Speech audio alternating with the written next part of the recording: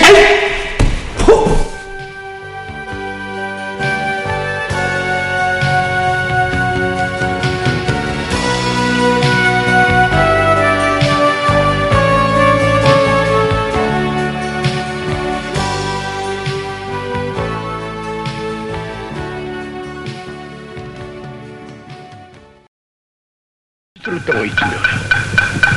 うん、だから我々は本当のもう、武道の真髄いわゆる真武の本当の武道ですね。真髄をもって、えー、若人たちの青春を鍛錬して万難不屈の大丈夫を培った、えー、赤い子供なんていねえよあれ。あの子供らは確かにあれ愛国心っていうものはおのずから養われていいと思うんですね。強い青春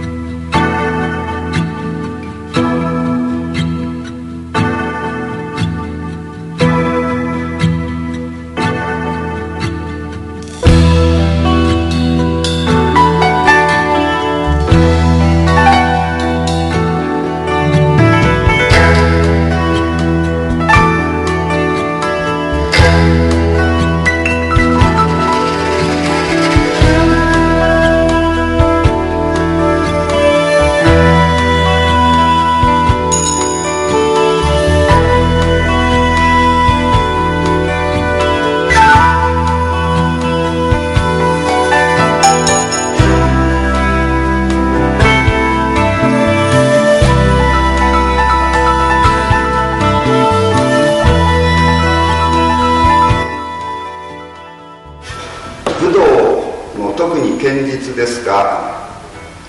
真剣を使う場合から木刀を使う場合から袋地なりというふうに3つの段階がございますがどう違うかということを少しご説明します。本来、えー、武道は戦いですから戦場でやる。ですから外でやるわけですね。外で本当の実際の切り合いをしていく。ですから真剣というのが本来の姿です。でそれがだだんだん戦争がなくなっていくにつれてまあ普段あまり稽古しなくてもよかったのがやはり戦いが普段ありませんからそうしますと武の精神を忘れてしまいます。ですから道場というものができてきて日常的に訓練をするようになります。その訓練の中核はやはり真剣を持って戦う。ですから一つでも間違間違って間違えば自分の命に関わるという緊張感が一番根底です。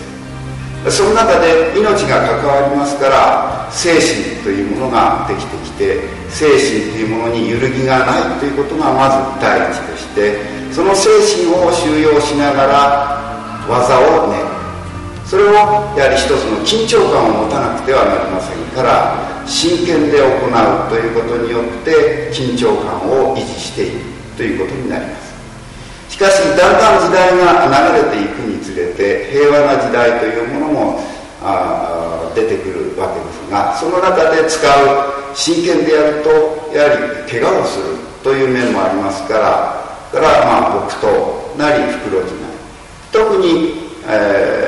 木刀の場合も一つの緊張感というものがございましてこれも間違えばやはり頭を打つ骨を砕くということで命に関わりますから真剣と木刀の場合は同じような一つの緊張感がございますがやはり鉄でできた真剣と木でできた木刀という意味から言うと一つ緊張感がまた違います。